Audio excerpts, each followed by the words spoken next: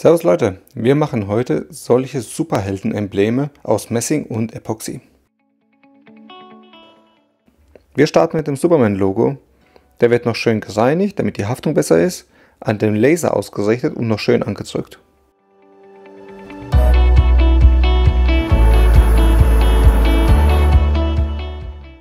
Natürlich wird noch X, Y, Z definiert und dann kann es auch schon losgehen.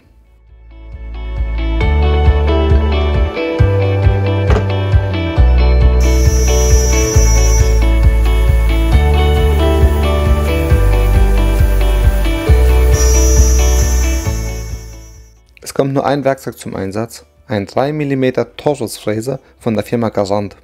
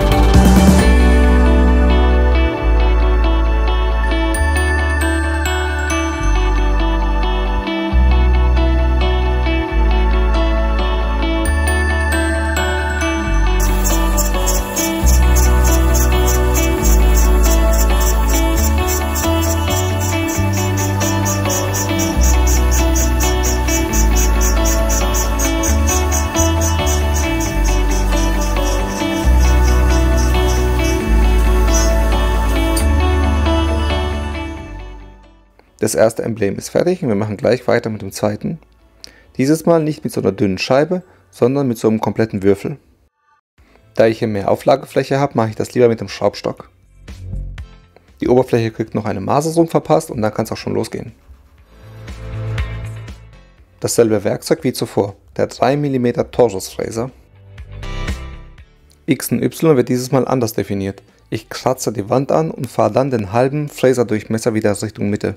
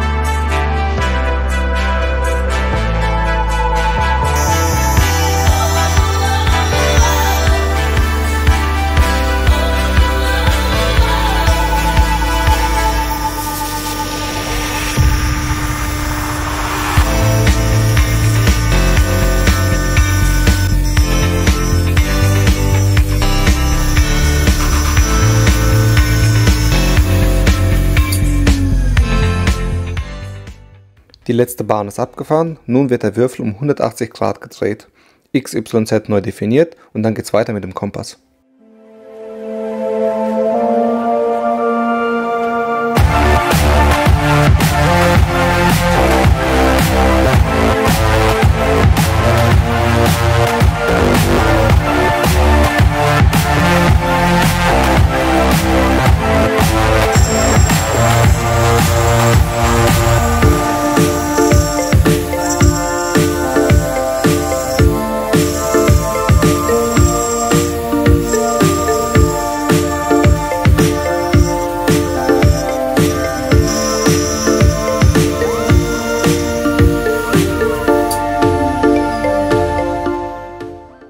Der Kompass ist viel aufwendiger und benötigt mehr Werkzeuge. Hier sieht man das zweite Werkzeug, ein Einschneider 2 mm.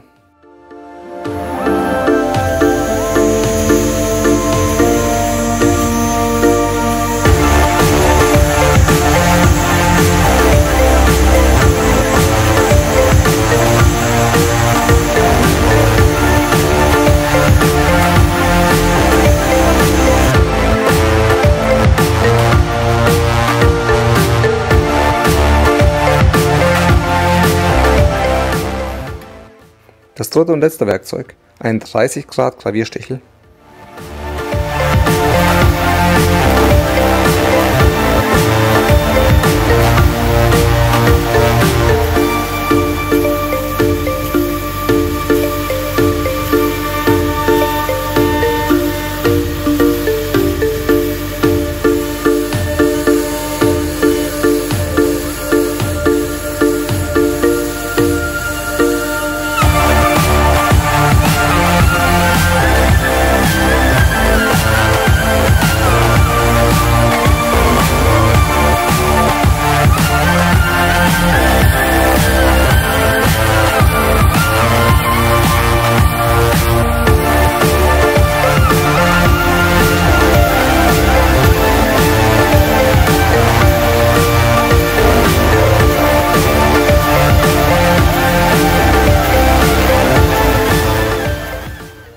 Es ist geschafft.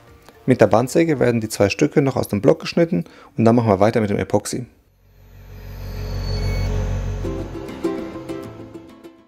Es ist schon angerührt und nun werden noch die Luftblasen entzogen.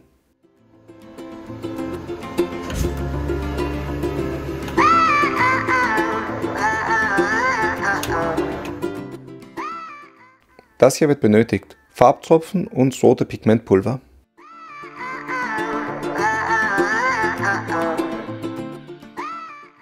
Ganze noch durchschauen und dann geht's los.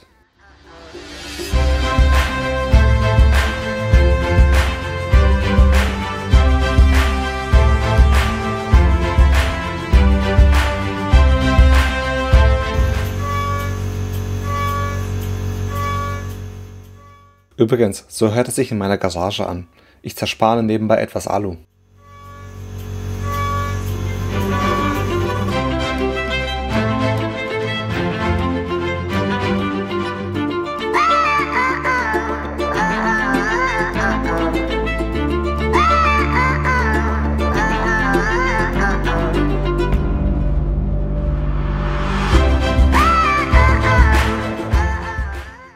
Nur noch die roten Farbpigmente. Ich muss sagen, ich finde die Farbe echt super. Das schimmert immer so schön. Die Pigmente und auch das Epoxy stammt alles von Apodex.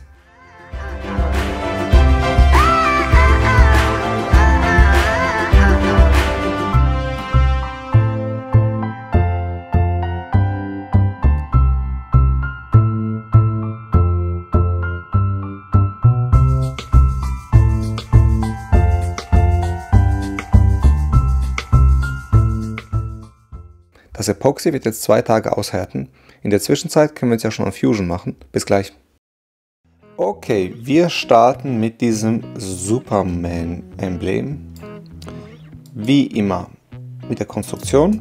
Wir gehen das mal Schritt für Schritt durch. Ich habe hier eine Skizze gezeichnet, also nichts Wildes, 50-50. Der Körper hatte ursprünglich 50-50-50 mm gehabt. Und daraus habe ich dann so Scheibchen geschnitten. Okay, das Ganze extrudiert, 10 mm. Es hat jetzt auch schon eine Darstellung bekommen, nämlich Messing poliert, meine ich. Messing matt kann man aber auch machen. Messing matt, glaube ich, sieht sogar besser aus. Okay. Ähm, ich muss dazu sagen, ich mache das ungern gleich in der Konstruktion, weil es doch den Rechner in die Knie zwingt, diese, diese ganze Darstellung, je nachdem wie aufwendig das ist. Deswegen lasse ich es gerne in dieser Grundfarbe. Das erleichtert mir einfach das äh, Konstruieren zweite Skizze. Man kann schon sehen, es ist fertig und grün. Grün heißt ja, es ist gesperrt, da kann man nichts machen. Das liegt daran, dass es eine SVG ist. Also ich habe wieder bei Etsy eine fertige SVG gekauft, wieder für ganz kleines Geld. Ähm, man kann hier sehen, die Linie ist irgendwie nicht ganz gerade. Die hier allerdings schon. Bin mir exakt nicht ganz sicher, ob das so sein muss. Aber ich sag mal, es stört mich jetzt auch nicht groß. Deswegen habe ich es einfach importiert, entsprechend skaliert und das war's schon. Für die, die es nicht kennen, einfügen, SVG-Datei und dann einfach ähm, das Logo importieren. Okay. Als nächstes habe ich das Ganze extrudiert bzw. abgezogen, nämlich 9 mm. Ich wollte unten 1 mm stehen lassen. Als nächstes habe ich dann nochmal ausgeschnitten und dieses Mal 2,5 mm. Das ist ja das, was hier, ähm, ja, ich nenne es mal in die Tasche, die Tasche weggenommen wird. Und wieder einen neuen Körper erstellt, 2,5 mm, um diese rote Epoxyfüllung äh, zeigen zu können. Das war natürlich nur ein Darstellungs, äh, eine Darstellungsgeschichte. Wenn ich schon dabei bin, machen wir es gleich fertig. Und das habe ich nur gemacht, damit das gerenderte Bild später einfach besser aussieht. Damit ich ein bisschen was zeigen kann. Okay, man kann hier noch eine dritte Skizze sehen. 1 mm. Auf die komme ich gleich. Machen wir gleich weiter. Ich blende mir gerade mal diesen Epoxy-Teil aus, weil der stört mich nur. Und dann brauchen wir jetzt auch nicht. Wie immer starten wir mit einem Setup. Hier kann man sehen, 50, 50, 10. Also da habe ich nichts verändert, das ist genau mein Körper. Und starten hier gleich mit der ersten Operation einer Kontur. Als Werkzeug kommt ein 3 mm Torsusfräser zum Einsatz. Ich habe hier Hase dazu geschrieben, weil ich ihn beim Hase bestellt habe. Okay, schauen wir uns gerade mal das Werkzeug an. Und wie ich zu diesen Schnittdaten komme. Also zuerst zu dem, äh, also das ist von der Firma Garant. Und das ist ein echt toller Fräser, also ich kann nur empfehlen. Hat einen Durchmesser von 3 mm, auch der Schaft hat 3 mm, aber der, der Freischliff, also ich, äh, hm, ich erkläre es jetzt am besten, also die, die, Schneide unten hat 3 mm und der Schaft oben auch. 4 mm hat die Schneide und danach folgt er wieder ein Stück Schaft, also so ein Mittelschaft. Und das hat einen Freischliff. Das bedeutet, man kann tiefer eintauchen. Ich muss sagen, äh, diese Freischliff-Fräser, ich finde die einfach super. Ich hätte gern mehr davon. Und dieser Freischliff hat 2,7 mm, also ist etwas verjüngt. Tolle Geschichte, kann ich nur empfehlen. Ähm, hier steht Anzahl der Schneiden 2, das ist falsch, das müsste 3 heißen, aber ist jetzt nicht so wichtig. Hat eine Schneidenlänge von 4 mm und hier kann man sehen, ein Eckenradius und hier ist er leicht abgerundet. Ähm, Finde ich nicht schlimm, im Gegenteil, so eine Tasche, ich kann es nicht zeigen, so eine Tasche hat dann unten auch so eine winzig kleine Phase, Finde ich, find ich sogar gewollt, also finde ich ganz gut. Okay, die Schnittdaten. Wie kam ich dazu? Wir eröffnen diese Excel. Material Nummer 8 für Messing Kupfer. Fräserdurchmesser 3 mm. Ist ein Dreizahn. Und jetzt müssen wir es ablesen aus der Tabelle. 0,025. 025. Meine Spindel kann maximal 18.000. Ich habe Kugelumlauf. Ja, ich befinde mich in einer Nut und muss jetzt nur noch ablesen. Ich tue es jetzt mal so gegenüberstellen. Ähm, das müssen wir jetzt einfach nur noch abschreiben. Also 1800. Oh, jetzt verschwindet ständig. Okay. 1800. Dann kann man hier sehen, seitlicher Vorschub 1350. 450 für den Helix. Und für den vertikalen müsste ich jetzt eigentlich auch 135 eintragen. Ich lasse das tatsächlich immer so, weil wenn ich in die Tasche eintauche, tauche ich immer im Helix ein. Wirklich immer. Und wenn ich in der Kontur, wie jetzt gleich, wie man es gleich sehen kann, tauche ich ja außerhalb ein. Und außerhalb, da ist ja nicht im Material, also da versuche ich ein bisschen zügiger fahren. Und deswegen mache ich das immer so. Natürlich dürfte man mit dieser Geschwindigkeit nicht ins Material fahren. Das würde er nicht aushalten. Wie gesagt, das ist die Erklärung. Tasche immer im Helix, dann stimmt es ja auch. Und dieses Eintauchen immer seitlich und dann darf er ja auch ein bisschen schneller fahren. Okay. Tiefenzustellung, auch ablesen. Tiefenzustellung 0,5, 0,56 und Querzustellung 0,45. Einfach abschreiben. So bin ich zu den Schnittdaten gekommen. Ähm, ich zeige es gerade nochmal.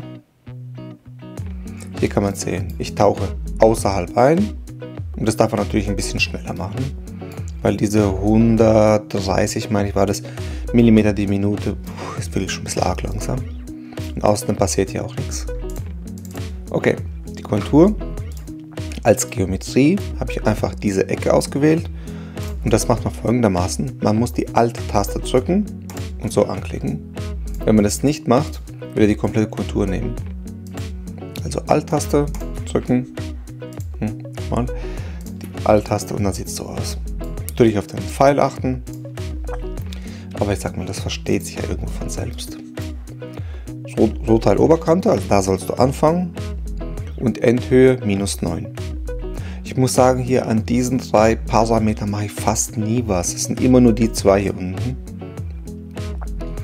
Rohteil Oberkante und ausgewählte Kontur minus 9. Man hätte auch das hier unten anklicken können, dann wäre es aus, ausgewählte Kontur 0.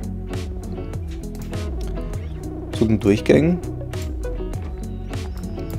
Tiefenschnitte 0,5. Ähm, ich weiß gerade nicht, wieso 0,5 steht, weil eigentlich sollte ja 0,56. Machen wir es einfach mal. Genau, 0,56. Gleichmäßige Tiefenzustellung, dass er einfach hier in jedem Durchgang die gleiche Zustellung macht. Ein Rohteilaufmaß von 0,15 und ein Glättungsfilter. Mehr habe ich hier nicht gemacht. Als nächstes, das waren so Standardwerte hier, diese 0,3, die habe ich stehen gelassen. Aber das hier habe ich eingetragen, 4 mm. Und diese 4 mm und 0 Grad, stimmt, die zwei Sachen habe ich geändert. Und dann sieht das Ganze so aus. Das hier sind diese 4 mm. 4 mm 0 Grad. Und damit mache ich einfach schon mal diesen Klotz hier. Also ich entkoppel das, sage ich jetzt mal. Die Ursprungsidee war eigentlich, das so zu machen, also komplett mit Adaptive Clearing, das hier alles wegzunehmen. Aber dann dachte ich mir, ich müsste ja diesen kompletten Block hier zersparen. Das ist ja Quatsch. Also trenne ich das Ganze erstmal und mache dann weiter mit diesem Adaptive Clearing. Okay, der gleiche Fraser, die gleichen Schnittdaten, also nichts geändert. Und jetzt kann man was sehen. Ich sage als Geometrie das hier, diese Fläche, was blau markiert ist. Aber jetzt kann man schon sehen, jetzt würde er mir wieder diesen ganzen Block hier wegfräsen wollen. Deswegen diese angesprochene Skizze. Diese Skizze, oh, jetzt hat er es angewählt, ich muss gerade nochmal. Diese Skizze mache ich hier mit diesem Rotteil-Konturen. Ich klicke das an, Ach, kann ich einfach gleich mal zeigen. Also Geometrie das hier und Rotteil-Kontur wähle ich hier meine Skizze aus. Jetzt sagt er, okay, kapiert, du willst diese Fläche, begrenzt aber die Fläche, auf der ich arbeiten darf, mit dieser gelben Kontur. Und das mache ich mit dieser Skizze. Ähm, zu den Höhen habe ich, glaube ich, ja genau, alles Standardwerte. Tiefenschnitte, da war ich etwas mutiger, weil ich einfach sage, ich tauche hier außerhalb ein Minimaler Schneidradius ist 0,3 und optimale Zustellung diese 0,45. Das heißt, ich arbeite mit der seitlichen Zustellung von einem halben Millimeter und das ist ja so wenig, dass er deswegen komplett mit seiner kompletten Schneide, also mit seinem äh, Schneidendurchmesser voll eintauchen darf, nämlich diese 3 mm.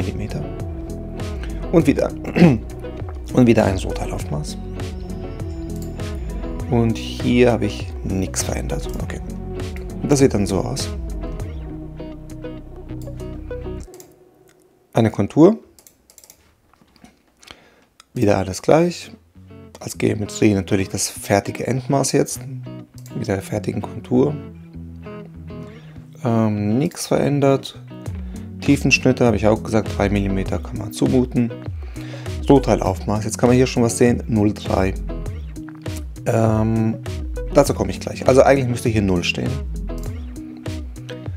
Äh, Anfahrt, Wegfahrt bin ich hier mit 5 mm, wollte ich ein bisschen weiter ausholen. Kann jetzt gar nicht sagen, wieso. Ich glaube, 3 hätten eigentlich gelangt. Aber okay. Fasum stehen hier 0,3. Das Problem ist, ich habe beim Antasten mit dem Laser habe ich nicht sauber genug gearbeitet. Hier an der Seite hat man gesehen, hat er nichts weggenommen. Und deswegen bin ich zuerst auf minus 0,1, irgendwann minus 0,2 und dann minus 0,3. Weil ich einfach wenigstens also die Wand mal leicht angekratzt. Deswegen habe ich mich da einfach rangetastet. Bei dem zweiten Superman-Logo habe ich das anders gemacht. Da bin ich mit dem Fraser so an die Seite gefahren und geschaut, dass das ganz leicht ankratzt. Dann hochgefahren, dann eine halbe Fraser-Durchmesser nach innen gezogen und dann XY getastet. Ähm, gespeichert wollte ich sagen. Ja, deswegen die 03. Also eigentlich müssten da 0 stehen. Okay. Das nächste, diese Tasche. Wieder alles identisch. Diese Geometrie. Als Höhe steht hier Rohteil Oberkante und Rohteil Oberkante minus 2,5. Man hätte auch sagen können, ausgewählte Kontur 0. Ich kann gar nicht sagen, wieso ich das jetzt so gemacht habe. Durchgänge hm, habe ich glaube ich nur diesen Glättungsfilter sein. Alles andere sieht ja ganz gut aus. Weil ich sag mal, zweieinhalb Millimeter traue ich der Fräse zu, äh, dem Fräser zu. Und das ist auch völlig legitim. Und das ist, was ich gemeint habe. Spirale. Also ich tauche jetzt in einer Spirale ein. 2 Grad. Und das hier, ich glaube, hier standen zweieinhalb Millimeter. Das ist mir zu viel, weil warum soll er da oben so umkreisen? Ist zwar ein bisschen mutig mit ähm, halbe Millimeter, aber ja. Das Tolle ist dann einfach, der geht halt sehr schnell, sehr schnell in den Eingriff und kreist nicht erstmal hier oben so. Ähm, das war das Superman-Logo. Wir machen gleich weiter mit dem Batman-Logo. Ich glaube, auf die Konstruktion gehe ich jetzt gar nicht ein, weil das gleiche in grün. Nee, genau. Wieder eine, ein SVG-Import, also nichts Wildes. Man kann hier schon was sehen. Die Ursprungsidee war einfach, diese Blöcke hier, 25, 25 und 24, 24, mit einer Flex oder ich weiß nicht, mit der, mit der Handsäge so zu entfernen. Habe mich da unterwegs doch dagegen entschieden. Also theoretisch könnte man das ja eigentlich löschen. Okay, die Fertigung. Ich starte dieses Mal. Achso, nee, Quatsch. Wieder ein Setup. Und hier kann man es schon sehen. Jetzt hat der Block nur noch 50, 50, 40. Denn ich habe ja schon so eine 10er Scheibe ausgeschnitten für das Superman-Logo. Hier wollte ich anders vorgehen. Hier wollte ich zuerst von oben das Batman und einen Kompass ausfräsen und dann mit der Bandsäge einfach zerteilen, also in diese Scheibchen. Deswegen ist dieser Block jetzt so groß. Okay. Ähm, absolut das gleiche wie beim Superman. Genau. Dann die Kontur ähm, aber auch da muss ich sagen, ist im Prinzip wie bei dem Superman. Ist wirklich nichts Wildes. Zuerst mit einem Offset und dann ohne Offset. Und wie gesagt, und das dann so in die Bandsäge eingespannt und dann so mit der Bandsäge durchgefahren. Das musste ich bei einem Kumpel machen, weil ich habe leider keinen. Okay. Kompass. Das ist ein bisschen wilder. Ähm, Ne, wir es doch so. 50-50, der, der Grundkörper extrudiert. Und dann, jetzt kann man schon, sieht ziemlich heftig aus. Ich habe alles selbst gezeichnet. Ähm, ich habe mir mal so, eine, so einen Kompass rausgesucht und da einfach angefangen, drauf loszuzeichnen. Ging schneller als gedacht und ich finde das Ergebnis ehrlich gesagt sehr gut. Und ähm, ja, so kann man sich mal anschauen. Ja, ist natürlich ein bisschen sehr äh, schwer zu interpretieren, wie was, aber okay. Das Kompassmodul, diese Flächen, die weggefräst werden sollen, subtrahiert, 2 mm. Auf die 2 mm komme ich gleich. Wieso? Ursprünglich wollte ich glaube ich 5. Genau, 5 oder 4. Muss es aber auf 2 mm begrenzen. Erkläre ich in der Fertigung. So, nochmal eine Skizze mit dem Schriftzug. Das Ganze extrudiert. Als nächstes wieder eine Skizze. Ähm, keine Ahnung. Keine Ahnung, was die Skizze machen soll. Dann gesundet. eine neue Skizze mit diesen äh, Himmelsrichtungen und auch die extrudiert. Und das war's schon. Machen wir gleich weiter. Natürlich wieder ein Setup. Ähm, 50, 50, 10, das stimmt ja nicht ganz. Es müsste ja eigentlich 40 heißen. Denn von unten ist ja das Batman-Logo schon eingefräst. Aber ich sag, das macht ja nichts. Das spielt überhaupt keine Rolle. Adaptive Clearing. Als Geometrie habe ich das hier ausgewählt und der erkennt automatisch, sagt okay, du willst diese von dieser Kontur alles was außerhalb ist und zeigt es mir schon als blau. Und natürlich sind die Begrenzung, äh, Rotteilkontur, natürlich das hier. Aber das weiß er, das ist ja auch logisch. Denn das Rotteil ist ja nicht größer als diese 50-50. Das weiß er, deswegen braucht man das hier nicht zu machen. Ähm, Höhen, ich klicke mich jetzt einfach durch. Also mit 0,7, ich wollte nicht ganz auf den Boden fahren. Ähm, ich klicke mich jetzt einfach durch. Ich sag mal, wenn ihr, ihr könnt ja das Video pausieren, wenn für euch irgendwelche nützlichen Informationen sind. So sah das aus. Ich bin da, glaube ich, auch voll mit 100% durchgefahren. Also es hat wirklich sehr, sehr gut funktioniert. So, ich blende es mal ein. Wieder Adaptive Clearing als Geometrie, genau diese neuen Ketten. Also ich habe alle Flächen anklicken müssen. Man kann schon sehen, hier fehlt was, weil der 3 mm Fräser ist hier nicht reingekommen. Wegen dem Offset, von wegen diesem Rohteil-Offset, sagt er einfach, das ist mir zu viel. Ich schaff's nicht, da reinzukommen. Deswegen habe ich es auch gleich rausgenommen. Hier die neuen Flächen. Rohteil Oberkante bis Kontur. Klar, passt. Durchgänge. Ähm, woher kommt dieses Urteilaufmaß? Jetzt blenden wir gerade mal wieder die Excel. Ne, wir machen das mit der nächsten Operation, dann kann man es besser sehen. Und hier begrenzt die Rampensicherheitshöhe, aber ansonsten alles gelassen, wie es ist. So sieht es dann aus. Okay, als nächstes die Kontur. Aber auf die gehe ich jetzt gar nicht ein, weil ähm, das ist das gleiche wie beim Superman und Batman. Das ist, also brauchen wir das nicht nochmal zu machen. Das nächste Werkzeug, ein 2 mm Einschneider. Hier kann man sehen, Excel, äh, Excel 8, also diese, die Materialnummer 8, Messing, aber ich habe alle Werte mal 2 genommen. Das heißt, während das Programm läuft, muss ich einfach auf 50% gehen. Und das habe ich auch gemacht und es hat auch gut funktioniert. Hat so ein bisschen den faden Beigeschmack bei, beim G0. Ja, macht begrenzt das auch auf 50%. Das ist ein bisschen schade, aber ansonsten halb so wild.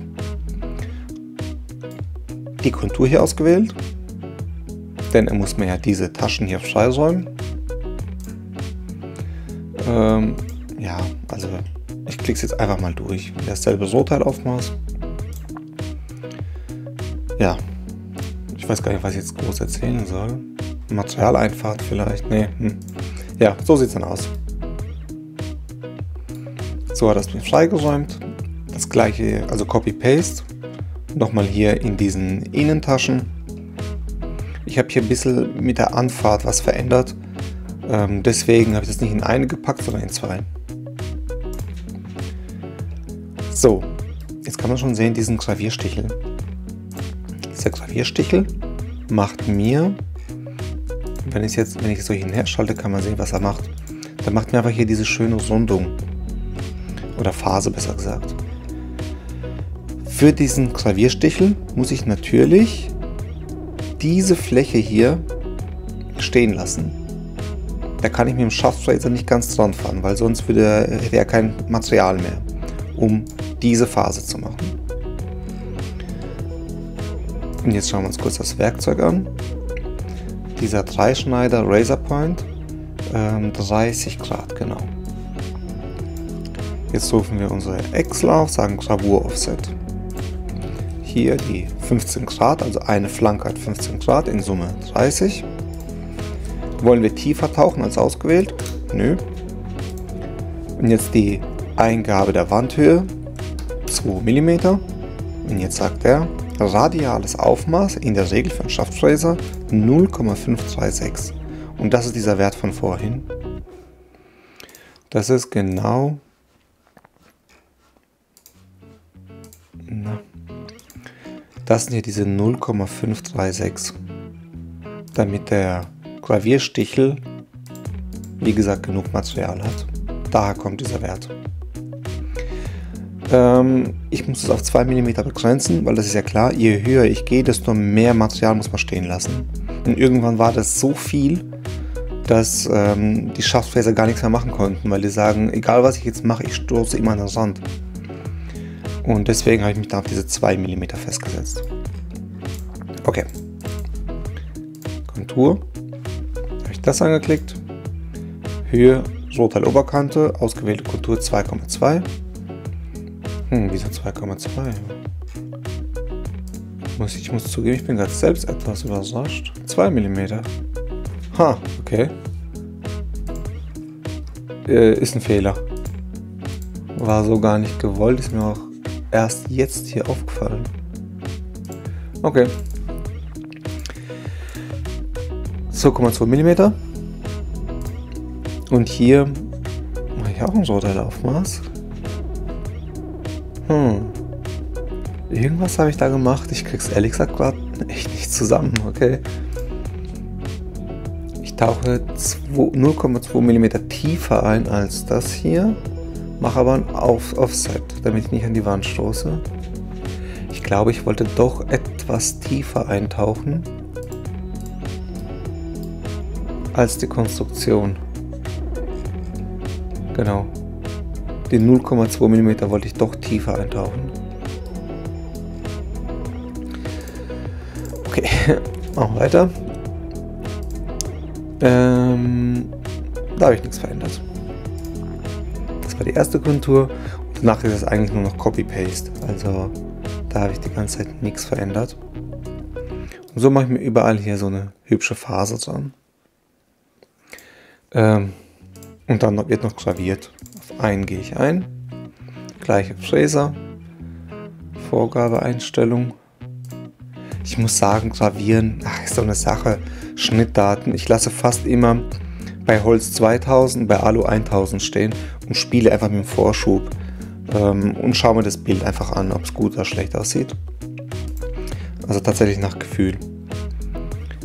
Geometrie, natürlich die ganze Schrift äh, ausgewählt, Kontur minus 5 mm, Mann, Mann.